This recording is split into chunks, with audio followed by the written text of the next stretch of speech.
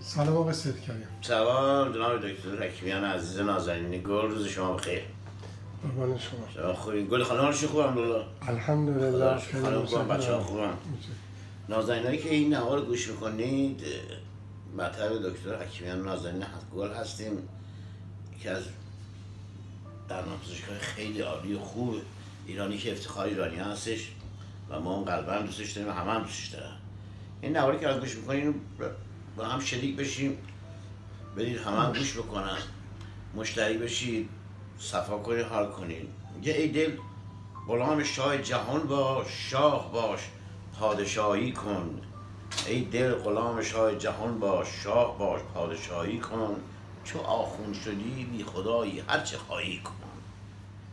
گر دو روزی به قضا حاکم این شهر شوم خون صد شیخ به یک مس روا خواهم کرد.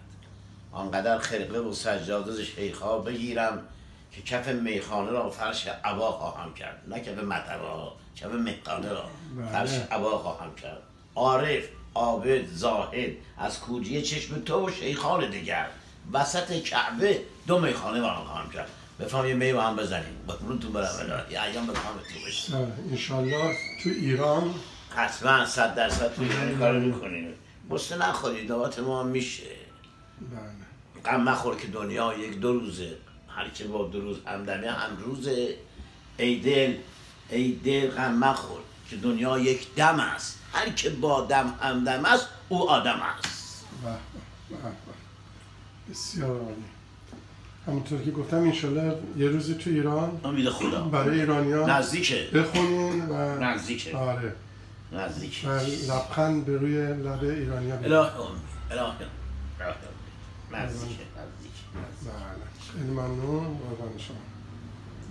پس این کانال شماست. می‌تونن مشترک بشن. بله بله. می‌تونم مشترک بشن.